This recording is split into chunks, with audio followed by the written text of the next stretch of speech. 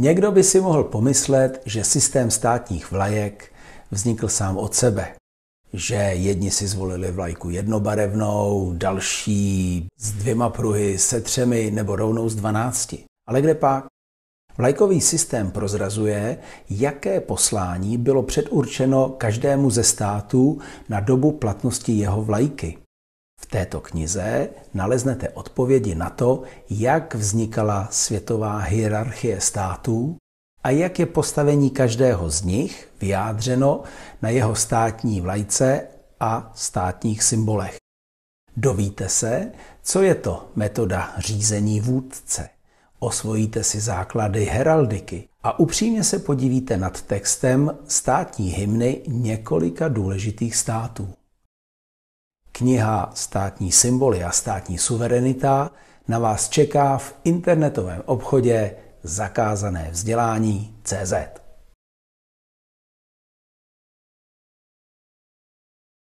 Dobrý den, Valerii Viktoroviči. Здравствуйте.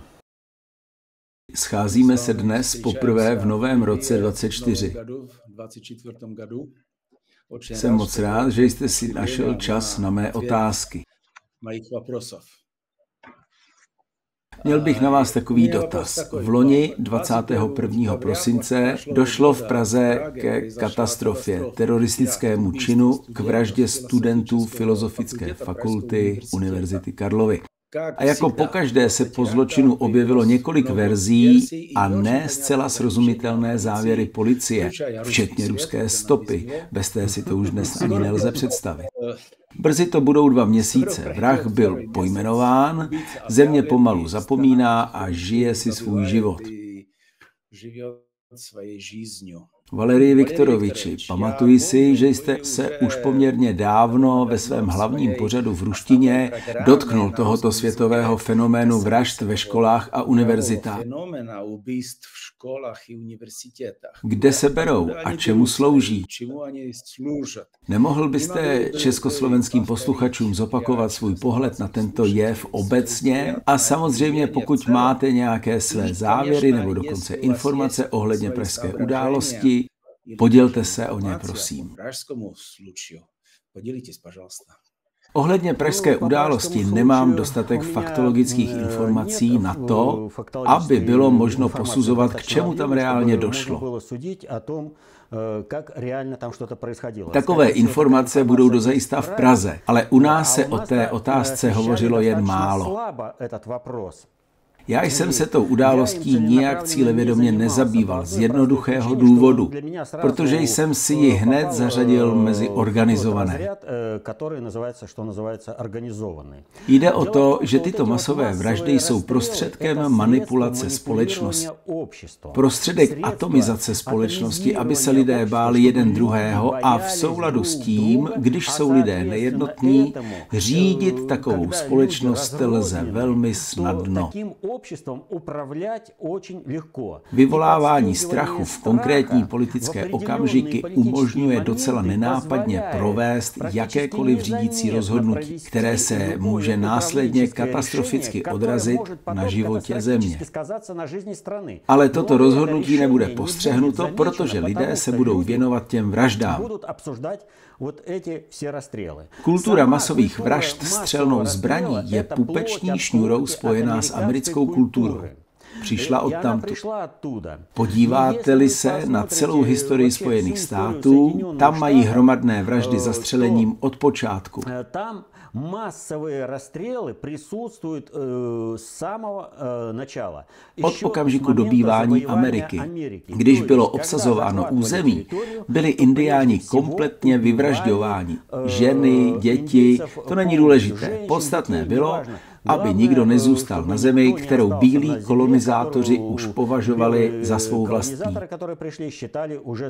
No, jen si to představte. Na naší zemi žijí nějací indiáni. Pryč s nimi. Tento prvek byl přenesen i na vztahy bílých kolonizátorů. Což nalezlo svůj odraz nejen ve faktologii, ale také v kultuře, v knihách, ve filmech, kde si různé bandy při dělení území, zejména když se někdo někde našlo zlato a tak podobně, tak zabili všechny. Деля территорию, особенно это вот когда там золото находили и все прочее, они уничтожали всех. Tak například v americké kultuře je znám případ, kdy se stavěla železnice. Известный случай, когда э, прокладывали железные дороги. A země už byly rozebrány a lidé svou zem za jeden dolar prodávat nechtěli. Tehdy se objevila nějaká banda, která dělala masové vraždy. Ti, které nezabili, ve strachu prchli. Jinak pozabíjeli celou rodinu, všechny zaměstnance i domácí zvířata. Zachodili na to, i всю семью, tam, работников, i даже домашних животных бывало убивали. То есть Prostě úplně všechny. V průběhu občanské války v USA 1865 vidíme stejný příběh. My vidíme tu samou historii. Mimochodem, v kultovní knize a filmu Jich proti severu, Gone with the Wind, se to také lehce projevilo. Protože je cenzura, nelze to ukazovat, je třeba smíření. Ale o čem šla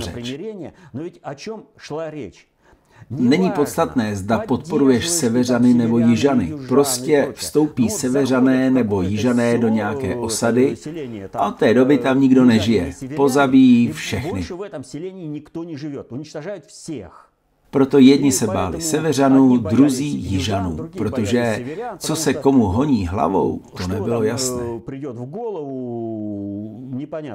Prostě je to dávná kulturní tradice. Proto je mimochodem v USA takový kult zbraní. Na vlastnictví zbraní veřejností není v celku nic špatného. Ale je tu konkrétní mravnost na použití těchto zbraní. A pokud se na to zaměříme, tak mravnost použití zbraní v USA má protilidskou povahu. Tam se mezilidské vyřizování si účtů rozšířilo na školy, kam se nosí zbraně a vraždí se tam. Věhlasná Columbine. To je zvrat americké kultury. Вот здесь выверт вообще американской культуры.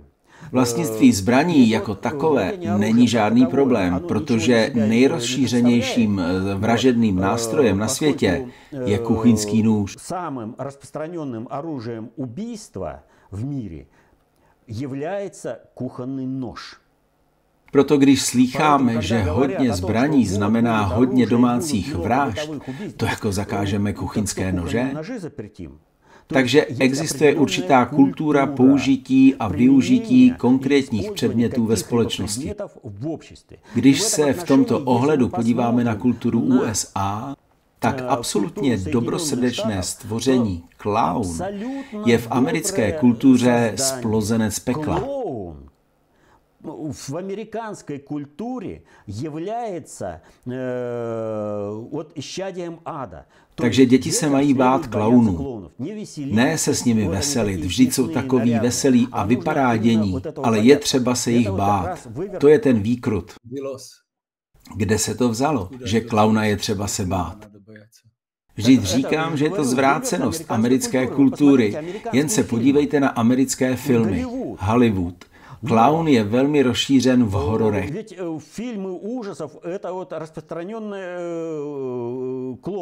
Proto hovořím o zvrácenosti americké kultury.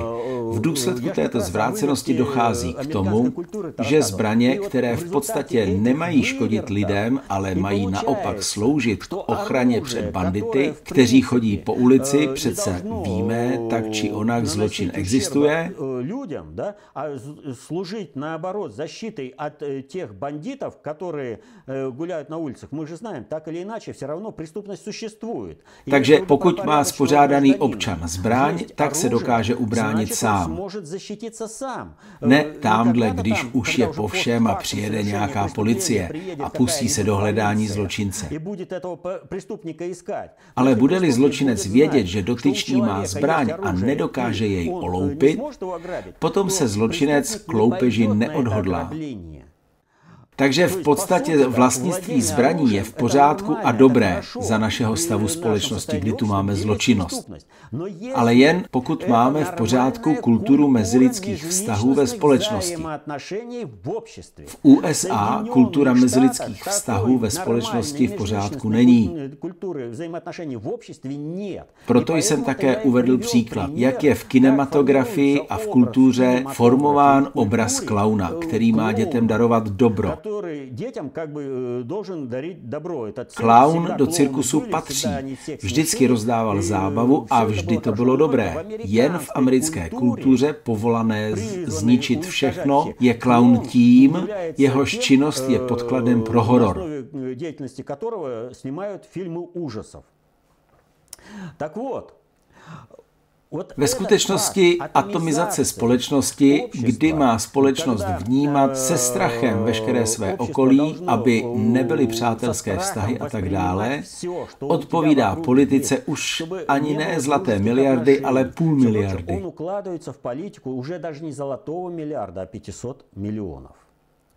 I pokud se podíváme na podstatu masových vražd, které proběhly, potom uvidíme, že jsou tak či onak spojeny s nadnárodním řízením s procesem globalizace.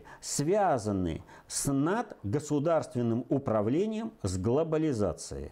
Protože tuto kulturu Columbine masových vražd ve školách a vzdělávacích institucí kdo si cílevědomě přenáší z USA do jiného prostředí, na jiné státy.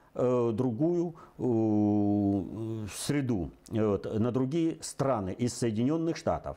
И Tato cílevědomost je patrná i na té vraždě na univerzitě v Praze. Zmínil jste se o ruské stopě, ale podstata tkví v následujícím. Byl využit kanál na Telegramu, založený předem za jasným účelem.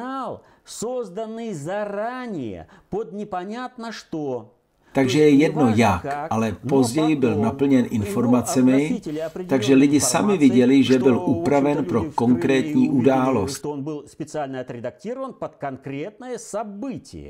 Takové spící kanály, kdo si zakládá a potom nějakým způsobem aktivuje.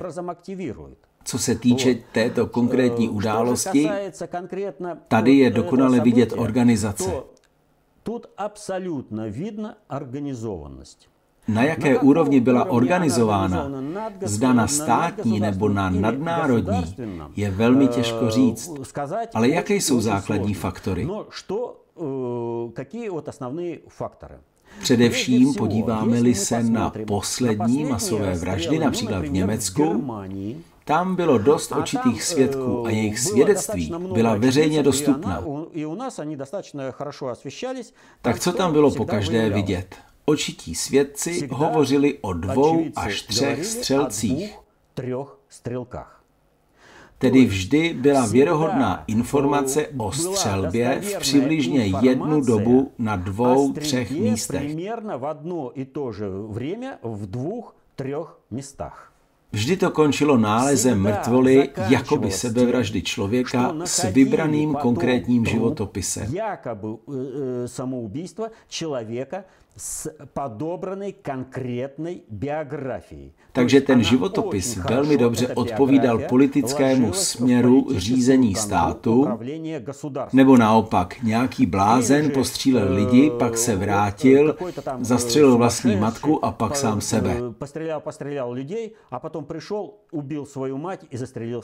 Sérioví vrazy nemají sklony k sebevraždám. Oni zabíjejí jiné. Jsou samo sebou zvláštní případy, jako jedna vražda v naší škole. To byl konkrétní případ. Oni mě urazili, já je potrestala a pak jsem zabila i sebe. Já jich nakazala i sama zastřelilась. Pochopitelné důsledky děvče si zcela neuvědomovalo, že zrazuje svého otce. Nicméně, to bylo konkrétní vyřizování si účtu. Ale když někdo přijde a pustí se do vraždění všech, tady nastává otázka, protože takový člověk se sám zastřelit rozhodně nemůže. To тут уже встает вопрос. Вот, э, что этот человек самостоятельно, э, сам застрелиться никак не может. V případě masové vraždy v Čechách je to zhruba stejná situace. Po češskému rozstřelu имеем примерно ту же ситуацию. Skutečně udělal tento konkrétní zločin? A kdo byli ti dva mrtví, které měl údajně zabít, než se dostal k hlavnímu zločinu? которые он který on jakoby ubil do toho, jak začínat rostřel. A nebyli náhodou ti dva mrtví těmi lidmi, kteří by mohli poskytnout nějaké informace, které by mohly spochybnit tvrzení, že autorem vraždy je právě tento konkrétní mladý muž, který byl přiveden na konkrétní místo.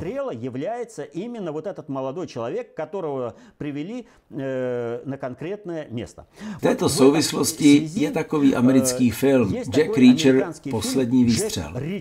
Děj filmu spočívá v tom, že bláznivý střelec zavraždil pět lidí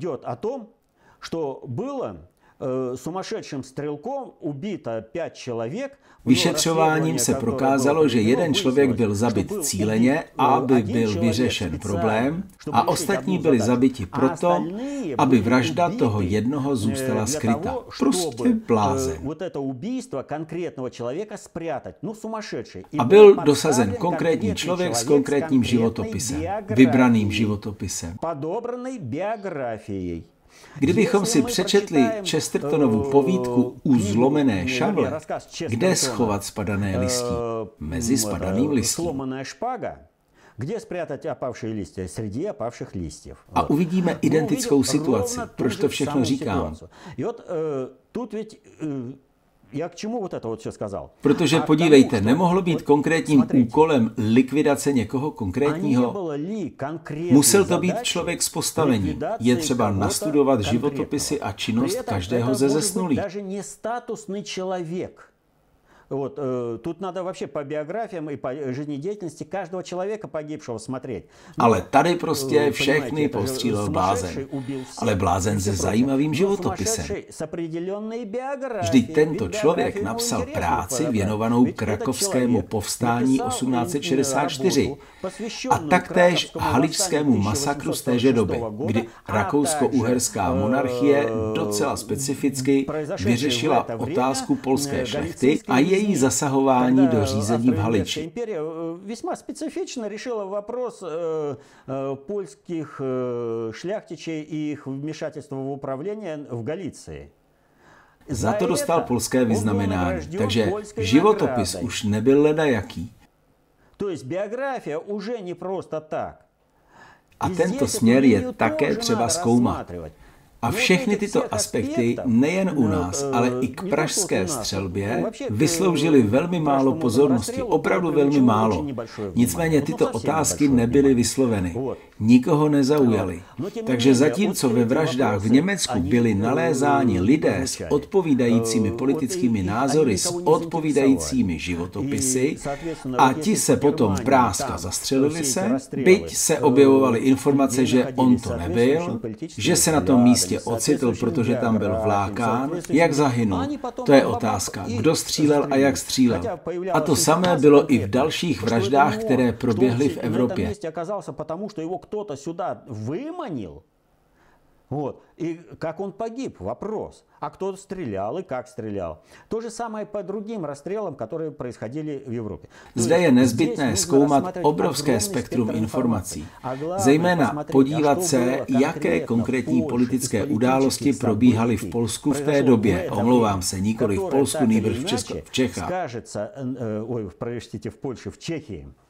Měl jsem v hlavě ještě toho střelce, který o Polsku psal a byl vyznamenán, zůstalo mi to tam.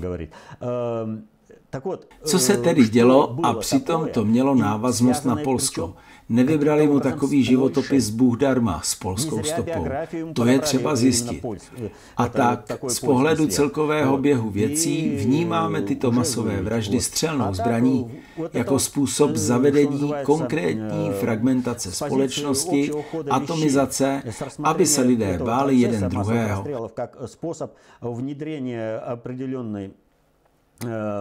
fragmentaci общества, atomizaci общества, чтобы люди друг друга боялись. Aby lidé nedokázali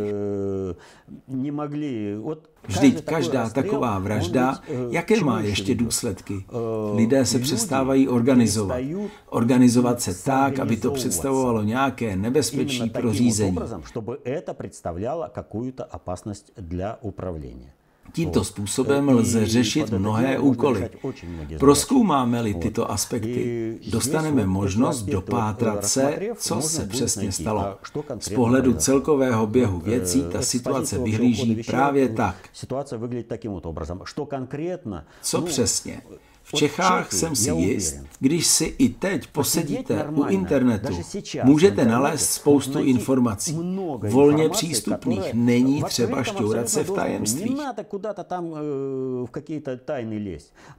Pokud je správně proskoumáte pohledem koncepce obecné bezpečnosti, prismatem dostatečně obecné teorie řízení, lze nalézt spoustu nuancí, událostí a vyznat se v tom. Mě právě spíš zajímal ten obecný pohled. Já si právě pamatuji, že jste se té otázce věnoval již dříve. A skutečně ve všech těchto vraždách hlavní vrah, zločinec, nikdy nepřežije, aby se podělil o své názory.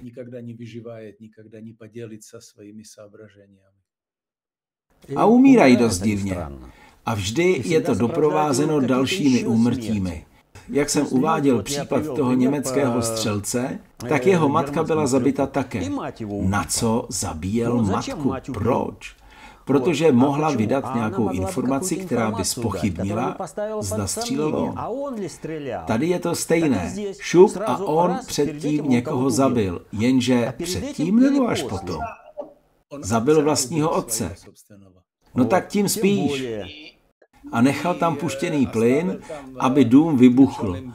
A v tom domě, který měl vybuchnout, nechal dva nebo tři dopisy na vysvětlenou. Velmi zvláštní věc.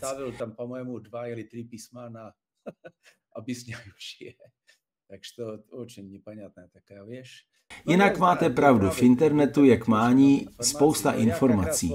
Já jsem se však právě ptal ne konkrétně na tento případ, nýbrž na celý tento úkaz školních vražd, které se bohužel dějí ve všech zemích nastupají ve všech stranách. I Čechy, to je taková země, kde se, mohlo by se zdát, nic neděje. Velmi klidná země, ani demonstrace tu nemáme. No tak už k tomu došlo. No i вот произошло, поэтому и спрашиваю. Ona každá demonstrace je jen vypouštění páry do píšťaly.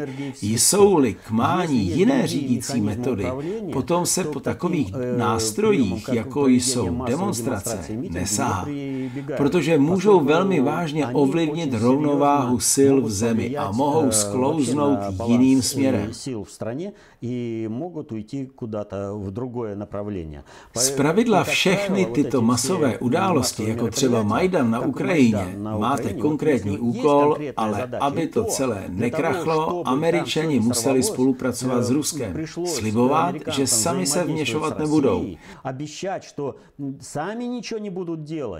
Jen řekněte Janukovičovi, ať to všechno proběhne v klidu. A Rusko zajistilo klid na straně Janukoviče. Ale USA se plnit své sliby vůbec nechystali Э, все это дело было. А Соединенные Штаты э, выполнять свои обещания не собирались.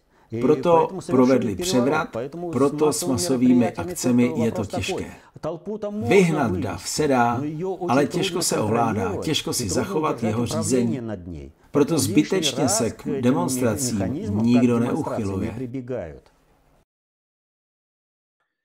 Dobře, děkuji. Moje druhá otázka je opět spíš teoretická.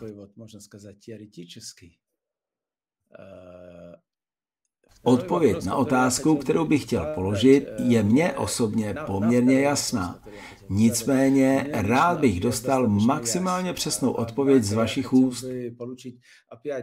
Maximálně točný, rozvrhnutý odpověď z vašich Otázku mi předneslo více lidí. Reagují na YouTubeový program naší známé politické osobnosti Josefa Skály, někdejšího zástupce předsedy KSČM, která se v posledních letech už do parlamentu nedostala. Jste žádán o vysvětlení rozdílu mezi komunisty a bolševiky. Jde o to, že ve svém programu je Josef Skála tázán a právě s odkazem na vás, s tím, že vy přísně rozlišujete mezi bolševiky a komunisty. Soudruh Skála rovněž rozlišuje mezi exportéry revoluce a budovateli komunismu v Sovětském svazu. Ovšem vyjadřuje předpoklad, že pro vás jsou komunisty ty strany, které pracovaly za hranicemi SSSR. Podle něj vy tímto rozdělováním vytváříte zbytečné napětí. Skála uvedl, že neví, jak byste chtěl rozlišovat mezi komunisty a bolševiky v někdejším Československu. Lze v této souvislosti hovořit vůbec o bolševicích ve vyšších úrovních řízení v postalinské době? A také, měli jsme skutečné bolševiky v Československu? v vyšším úrovni upravlení v posle stalinské vrémě. A takže byli li eh, podlinné bolševiky v Čechoslovákii. A na závěr, proč se Vladimíru Vladimíroviči stále nedaří kladně se vyjadřovat o vašich sovětských bolševicích? Vašich sovětských bolševikov. Hmm. No, тогда, значит, нужно э, вот Nějaké zásadní dělení na komunisty a bolševiky je zbytečné. по крупному не приходится. Co je to komunismus? Komunismus je světlý sen celého lidstva o spravedlivé společnosti, kde nebude útlak jedněch druhými. Kde nebude угнетение одних druhými. Kde nikdo nebude parazitovat a práce nepohltí veškerý čas člověka, ale poskytne člověku možnost rozvíjet se, osvojovat si svůj z hůry daný genetický potenciál.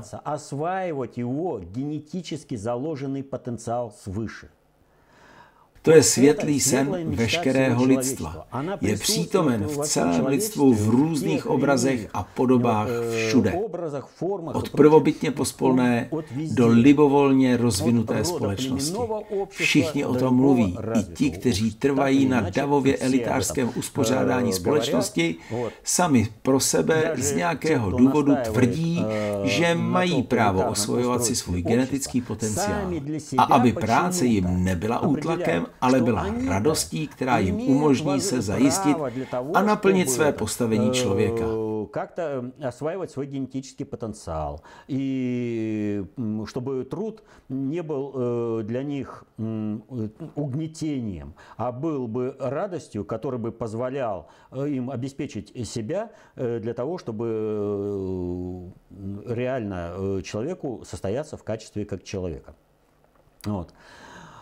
Co se týče marxismu, a to je zásadní věc, která předpokládá rozlišování mezi upřímnými komunisty a nejrůznějšími komunisty imitátory, jakými byli například trockisté u nás v Sovětském svazu. Tehdy ještě v Sovětském Rusku, i předtím, před revolucí. рода, как это были троцкисты, например, у нас в Советском Союзе.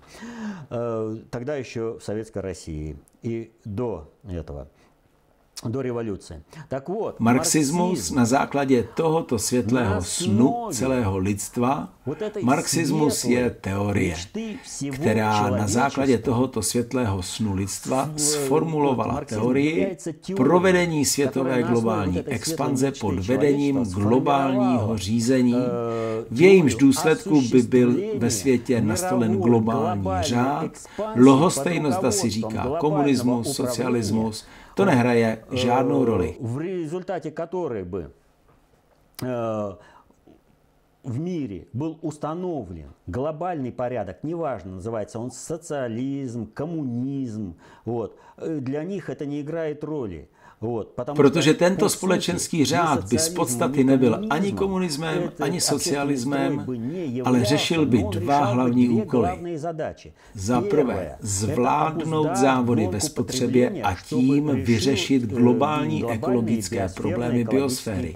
A za druhé, zavést do všech regionů planety jakousi kulturně mravní jednotu, která by zaručovala jednotvárnost řízení a touto cestou vyřadit nejrůznější nejrůznější vnitřní občanské války a vnější války. Tedy zajistit stabilitu řízení ve smyslu jeho předvídatelnosti a jednoty. То есть обеспечить устойчивость управления по предсказуемости и по единообразию. Так вот, takže toto měl vyřešit marxismus v určité etapě při jakési vnější souře cílů. Při vnějším, как бы совпадении Oni přece vyhlašují, že má být spravedlivá společnost, že bohatí nemají utlačovat chudé a chudí, že mají dosáhnout určité úrovně, v materiální úrovni, v kulturním růstu, mít možnosti. V určité etapě na počátku 20. století došlo ke schodě vektorů cílů upřímných komunistů a komunistů marxistů. И у коммунистов марксистов. Вот.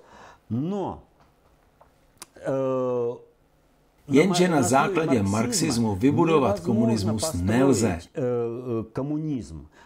Tam on Marxismus má za prvé nesprávně definovánu základní filozofickou otázku. Ptají se, co je primární, hmota nebo vědomí. Takto postavená filozofická otázka neumožňuje vybudovat předvídatelné řízení. Společnost, jejíž základní filozofická otázka je sformulována takto, bude vždy vědomě nespůsobilá ve vztahu k řízení prováděnému na základě celostního chápání компании которая света. будет осуществляться на основе целостности понимания мира. A druhý problém je, že je metricky neopodstatněný. Nedovoluje odlišit přídavný produkt od základního. Marxismus je v tomto směru metricky neopodstatněný. A pokud je metricky neopodstatněný, potom ani postavit řízení na základě marxismu není možné. построить на основе марксизма невозможно. A toto fakticky vyhlásil Stalin ve své práci Ekonomické problémy socialismu v Sovětském svazu. Ekonomické problémy socialismu v России, v Sovětském svazu. Tak вот, Stalin se fakticky rozešel, řekl, musíme přeskoumat mnohé teze marxismu. Budeme-li zkoumat Stalinovu činnost, potom obnova Ruska a Sovětského svazu jako supermocnosti číslo jedna na světě. A to je absolutní fakt. Ať už manipuluje parametry, kdo chce, jak chce, na to, aby mohl čelit Sovětskému svazu, se západní svět, všechny koloniální mocnosti museli sjednotit pro epochu druhé světové války. Tak co? Kdo je potom supermocností číslo jedna? USA? Jinou věcí je, že trockisté, kteří se zmocnili vlády, udělali všechno pro diskreditaci myšlenek komunismu a socialismu. Přitom ideu marxismu zachovávali a zachovávají ji dodnes. Podívejte se, jak je marxismus respektován ve všech kapitalistických společnostech, což ukazuje, že marxismus v podstatě není v rozporu s kapitalismem. Prostě uvádí celkovou spotřebu do potřebných rámců, aby ta sarančata nesežrala veškeré přírodní zdroje na planetě Zemi. A tady vyvstává otázka, jak rozeznat komunistů a bolševika. Už jsem řekl, že prakticky nijak. Nicméně, pokud se podíváme například na sovětský film Čapájev, v něm rolník přistupuje k Čapájevovi a říká Vasily Ivanoviči, ty jsi za bolševiky nebo za komunisty? A to nebyla otázka z nudy. Při té praxi, jaká se uplatňovala v sovětském Rusku a v období občanské války a po ní, to byla otázka k věci, protože se rozlišovalo mezi komunisty humanisty, praktiky marxismu a komunisty praktiky života. Потому что было развлечение между коммунистами, гуманистами, практиками, марксистами, но э, практиками марксизма имеется в виду, гуманистами, э, практиками марксизма, и коммунистами, практиками по жизни – Humanisté, kteří praktikovali marxismus, byli zdrojem veškerého neštěstí. Všechny zvrácenosti v budování socialismu, které ze Sovětského svazu známe, to jsou všechno následky činnosti těchto komunistů humanistů, praktiků marxismu. Oni zaváděli marxismus. A naopak komunistům praktikům vedeným životem, těm se říkalo bolševici. Od жизни их называли большевиками. Bolševismus jako takový, to není politická strana. Это не политическая, не политическая партия. Samotná strana bolševiků nikdy neměla početní většinu, ale zastupovala většinu lidu ve státě. Вот. Но они представляли большинство народа в стране. Podstata bolševismu spočívá v upřímné snaze vyjádřit a uvést do života dlouhodobé strategické zájmy pracující většiny, která si přeje, aby nikdo neparazitoval na její práci a životě. Což je ve shodě s komunismem. Jenže komunismus to je světlý sen. No, komunism это светлая мечта, ale bolševismus představuje sebou historicky reálně v každou epochu. Bolševismus představuje eh, energickou podporu přechodového procesu. V každou epochu podporuje přechodový proces. od historicky nastalého davoelitářství ke mnohonárodnostní lidskosti země příští epochy. Вот, к многонациональной э, человечности э, Земли будущей эры. То есть Podívejte, vidíme, že společnost se trvale mění a určité vrstvy obyvatelstva nabývají stále více práv. Nejdříve neměli žádná, třeba otroci za otrokářství, mohli jen pracovat na hospodáře. Ale ať už byla situace pracující většiny v továrnách začátkem 20. století jakkoliv otrocká, s jejich právy bylo nutné se měřit. V různých zemích v různé míře. Na fabrikách už v начале 20. věka, tak или иначе с их правами вынуждены были считаться в разных странах в разной мере. Вот. Tento proces probíhal s konkrétní specifikou v každé konkrétní zemi. v každé konkrétní straně. U nás například v Rusku můžeme za bolševiky praktiky s klidem označit knížete Dmitrie Požárského a občana Kuzmu Minina protože právě pod jejich řízením byl proveden určitý kvalitativní přechod společnosti z jednoho stavu společnosti do druhého. качественный переход общества из одного состояния в другое. Přitom ani jeden z nich osobně nevyužil plodu tohoto svého vítězství. Podívejte se, co to bylo za situaci. Dmitrij Požárský byl původem Rurikovič. Jeho práva na trůn nespochybňoval vůbec nikdo. Vždy byl rodilý Rurikovič. Jeho práva na prestol – не, вот вообще никем абсолютно не оспаривались. Потому что ну, он природный Рюрикович был. Další adepti na ruský trůn nebyli vůbec žádní. Volba Romanova, chráněnce Holandianů, na ruský trůn, proběhla i díky tomu, že na Dmitrie Požarského byl spáchán atentát, byl raněn, roznesla se zpráva, že byl zabit. В том числе благодаря тому, что на Дмитрия Пожарского было совершено покушение, он был ранен, разлетелся слух, что он убит, za Rudského kozáci hned zamávali šavlemi a na zemské radě hlasovali za Romanova. Prohlasovali za e, Romanova. Když se ukázalo, že Požarský mrtev není a že je přirozený Rudikovič, v zemi se vzedmula velmi vážná vlna.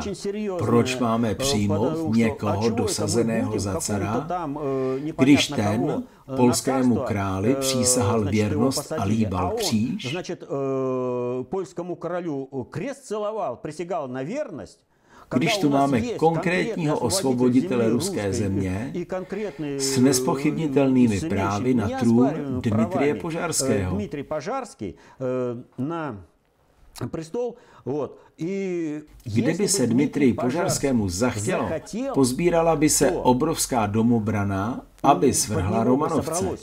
Ale Dmitrij Požarský vycházel ze zájmu země. Но Dmitrij Požarský исходил из интересов страны. Země byla vyčerpána zprvu neúrodou, rozvratem hospodářství a potom i občanskou válkou.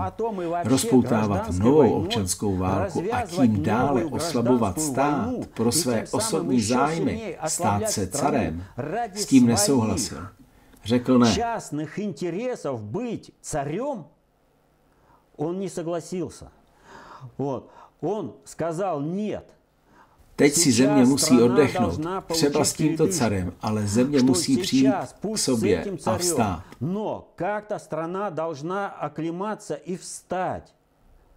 Nevyvolal novou občanskou válku. On je osvoboditelem Ruska od zahraničních agresorů. Perfektně si uvědomoval, že pokud nyní vyvolá novou občanskou válku, země je oslabená a veškerá podpora ze západu se dostane Romanovovi a povede k tomu, že Rusko dál oslábne a své země postrácí. I stát může zaniknout может и государства как такового не быть. Ale na této vlně vítězství ruského bolševismu pod vedením Požárského a Minina nebudou mít Romanovci dostatečnou svobodu pro zradu zájmu Ruska, jakou by měli, kdyby tu nebylo předchozí vítězství. Nebude takové svobody по предательству интересов России у Романовых, которая бы была, если бы вот этой победы не было. То есть Uvědomění si národa pozvedlé na novou úroveň a organizace vnitřního života dosažená Mininem a Požárským nedovolila prvním Romanovcům, jak Požárský předpokládal, zrazovat zájmy Ruska tak, aby zničili Rusko. Podívejte se, Michail Romanov to byla kusovka. Michail Romanov, e, вообще проходная фигура. Aleksandr Michailovič, nejklidnější, ovládaný Holanděny, přijal holandskou vlajku, chtěl ji zavést, ale nepodařilo se. Nicméně měl syna Petra Alexejeviče, Petra I. Petr I. byl vychováván k doražení Ruska. Ale v důsledku vlády Petra I. se Rusko stalo impériem které už západní nepřátelé Ruska nedokázali porazit. stala impériей, которую уже не могли сокрушить э, западные враги России. To znamená, že Rusko za vlády dvou prvních Romanovců nabilo určitou stabilitu proto, aby Petr I. mohl realizovat své reformy. To dokonale chápal Požárský, že je potřeba času. Nevěděl, co je to zákon času a další, ale tvůrčím způsobem podporoval tento přechodový proces ze stavu jedné společnosti k jiné, mnohem spravedlivější от состояния одного общества к другому, более справедливому. A právě bolševici jde o to, že to nejsou žádní abstraktní humanisté, nýbrž vychází ze zájmu většiny obyvatel státu a tvořivě prosazují všechny procesy ve společnosti takovým směrem, aby byly vyjádřeny a uvedeny do života dlouhodobé strategické zájmy pracující většiny. Э, выразить и воплотить в жизнь долговременные стратегические интересы трудового большинства. To je důvod nenávisti k bolševikům, právě k bolševikům, a nikoliv k nějakým abstraktním komunistům.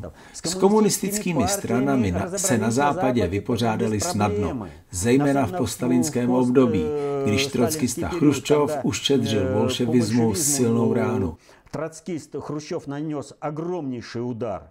Co pak existovala nějaká komunistická strana Itálie? O čem se chcete bavit? Nebo komunistická strana Francie a další? To byly jen vývěsní štítky. Komunistické strany pracující jako obhájkyně národních zájmů se uplatnily jen v socialistickém společenství. Состоялись только в странах социалистического содружества. Ale i tam Tehdejší probíhající procesy ukázaly, že většiny vedení těchto stran se zmocnili trockisté. Marxisté, praktici, abstraktní komunisté, humanisté. V tomto ohledu je dobře vidět, jako nadávka se více používá označení bolševiku, málo kdy komunistu. A to společností nejnenáviděnější, nebo spíš ne společností, ale naší mocí, je Stalin, který je povahově nejvýraznějším bolševikem. Našimi vlastiami je to Stalin, který to, že jim je také od samé jarké bolševické črty. V tomto ohledu jste správně poznamenal, stojí za připomínku následující. Byli to právě bolševici, koho nenáviděl Hitler. A když se u nás rozběhla Gorbačovova perestrojka, tak architekt perestrojky Aleksandr Nikolajevič Jakovlev rozdělil komunistickou stranu na dobré komunisty, kteří jsou pro všechno dobré a proti všemu špatnému, a na špatné bolševiky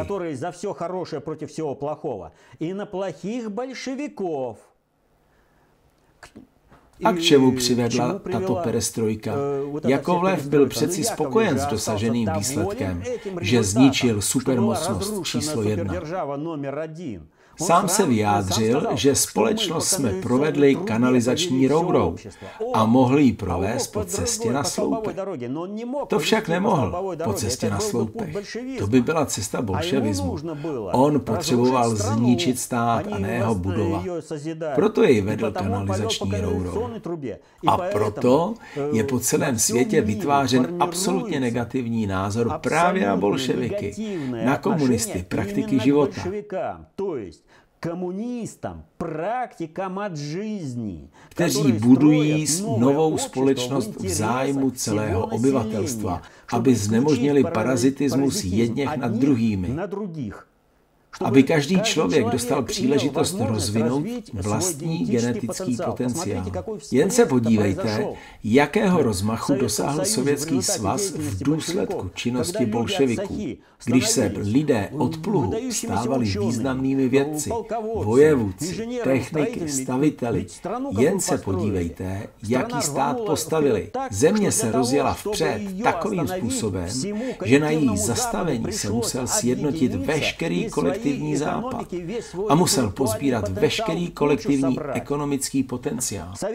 Sovětský svaz rozvíjel své kosmické odvětví samostatně a Západ pozbíral všechny, včetně Německa, které bylo tou dobou v dobývání kosmu především. A stejně zaostál a stejně nedokázal postavit kosmické odvětví srovnatelné se Sovětským svazem. S jadernou energií je to to samé. Ano, bombu se strojili jako první. To byla jaderná bomba, ale s vodíkovou jsme je již předběhli. A na rozdíl od početného personálu, který se podílel na tvorbě jejich bomby, naše kolektivy byly podstatně menší. My jsme měli takový souborný lidský a ekonomický potenciál, jakým disponoval souborný západ. A přesto vytvořený vzdělávací systém, systém společenských výtahů, jaký byl v Sovětském svazu, umožňoval realizaci všech těchto zájmů. Proto do čeho se pustil Chruščov? Hned začal likvidovat vzdělání a zavírat sociální výtahy. a proměnil stranickou sovětskou nomenklaturu na třídu samou pro sebe a zlikvidoval hnutí racionalizátorů. O tom právě mluví. Zavřel sociální výtahy a proměnil nomenklaturu ve vymezenou třídu samou pro sebe.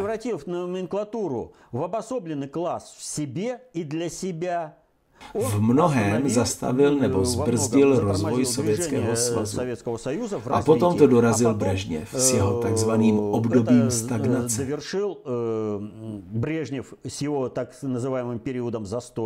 Když byl podpořen Gorbačov, všichni si mysleli, že nastane perestrojka. Vše pozitivní bude zachováno a vedení bude přeorganizováno tak, aby byl brán zřetel na zájmy většiny. Ale od počátku byla stavěna kapitalistická kapitalistická společnost. Začali vyhlašováním více socialismu, více lidovlády a dovedli to kam? To je čistý trockismus, když proklamace neodpovídají reálným krokům. Což je v zásadě vyjádřeno v teorii marxismu. Marxismus je teoretickou platformou pro činnost trockismu. Takže tak. Dobře, děkuji. Díváte se na fotbal, já se tedy nedívám. Nestrácím čas na prázdnou podívanou. Já netraču время na pustое это зрелище. Jde o to, že současný fotbal nebo hokej se zhroucením Sovětského svazu přestali být i sportem, i prostředkem provádění politiky. S krušením Sovětského союза перестали быть э, и спортом, i sredstvom provedení politiky. Jen si vzpomeňte, eh, jaký byl hokej, jak dobře hrál český tým se Sovětským svazem. V hokej s Sovětským sajuzem. A všimněte si, jak tento hokej po každé doprovázelo ideologické informační pole ideologické informační pole. Jaké byly řídící procesy? Dnes je všechno omezeno jedním. Rusko nikdy nemá právo vyhrávat a také nevyhrává. Nikdy nemá právo vyhrávat aby někdy něco vyhráli, byl takový zápas, musel přijít Putin přímo k hokejistům a říct, hrajte, musíte vyhrát. A oni na to, trenér nám řekl, ale já vám říkám, hrajte a vyhrajte. Podstata spočívá v tom, že je to politicky nastaveno, že Rusko nesmí nikde vyhrát. Vyjádřeno je to tím, že na olympiádě se v žádném případě nemůže ukázat ruská vlajka. A ti sportovci, kteří vystupovali pod bílou vlajkou a možná ještě vystupovat budou, musí vystupovat z protistátních pozic. Putin se to snažil trošku potlačit ale stejně se to projevuje. Э, э, přidavit, no těm не менее это все равно проявляется. Dnešní э, podstata všech těch fotbalů, politická složka je naprosto minimální. Projevuje se na případech s Ruskem. Просто вот вообще минимально. Вот, она проявляется вот как на примере с Россией. Ale hlavní podstata je hra o peníze. Kde a jak vyhrát, to je celé. Где, как это, выиграть, вот и все.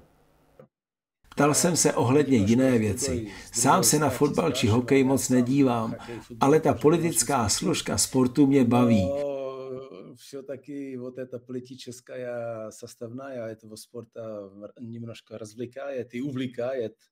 Общественность у нас недавно naše veřejnost nedávno jedno hokejové družstvo mělo přijmout brankáře, který pracoval jako brankář v Kazachstánu a hrál ruskou hokejovou ligu. V Kazachstáně.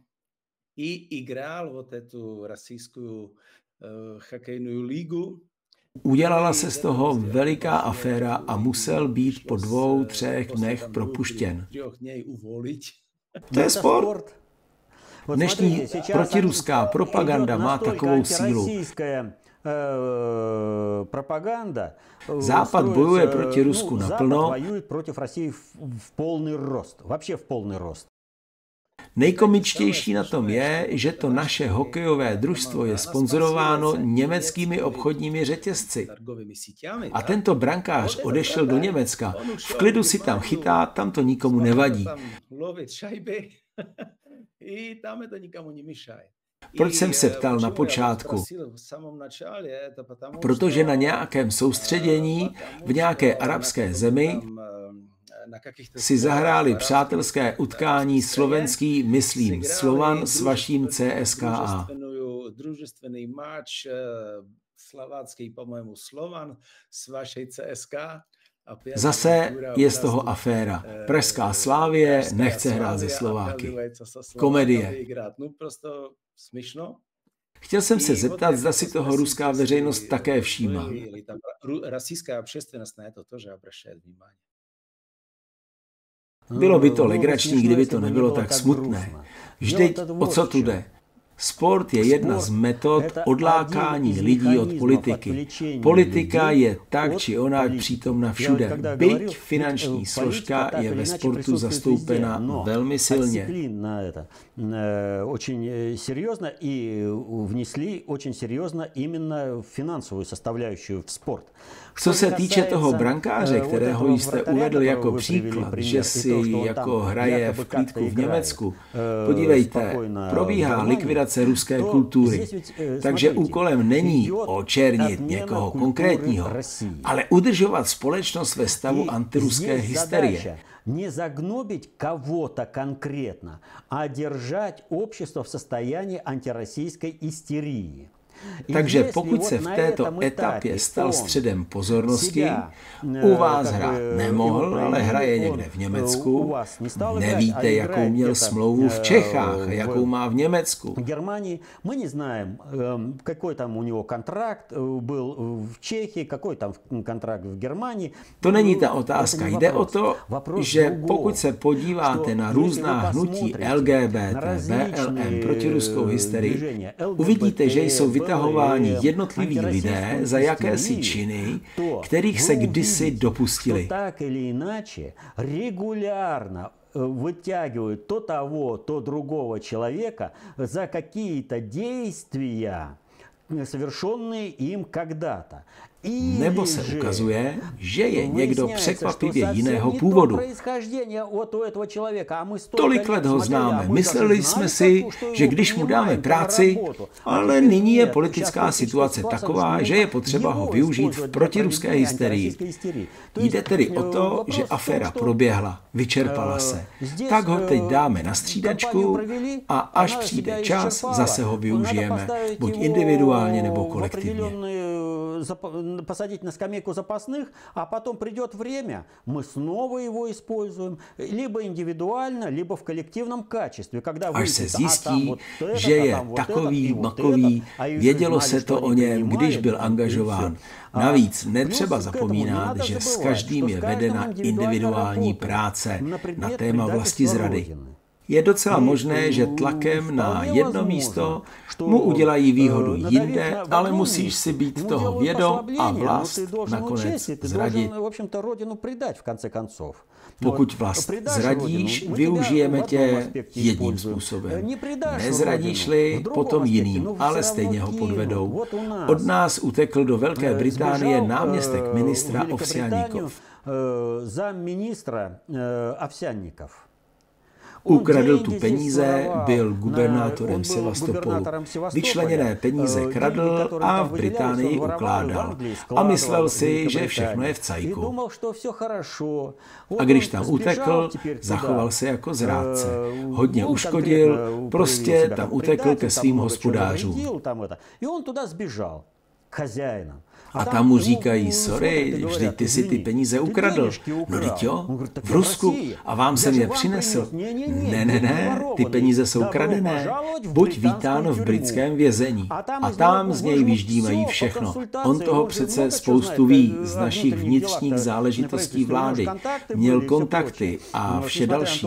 Nehledě na to, že v posledních letech šéfoval bance a ve vládě nebyl, rok, dva, asi něco přes dva roky Да нет, уже чуть-чуть побольше. Э, больше чуть двух лет, но тем не менее. Udržel si kontakt s celou vládou, zabýval se korupcí vlády, hodně toho ví a jako konzultant toho ještě hodně odpracuje. Jen se podívejte, z Ruska už spousta lidí prchla do Velké Británie. Čím to vždycky končí? Ve Velké Británii jim seberou peníze a buď je zavřou do vězení, nebo jako Boris Berezovský sám se pověsí. Věší se jednotný scénář a přesto tam utíkají. Proto situace je taková, zradíš vlast a jsi naprosto nikým. Тут ситуация такая, предаешь родину, с тобой вообще не считаются.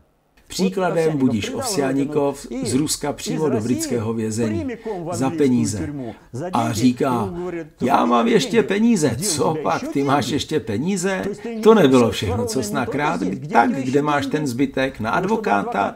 To už nejsou tvoje peníze. Všechno nakradené půjde do britské pokladny. A to je osud všech. Вот tak s nimi se všemi. Dobře, děkuji vám za dnešní program. Děkuji, volejte a budeme si povídat, pokud tedy budete mít zájem. Ano, můj zájem se pravidelně obnovuje.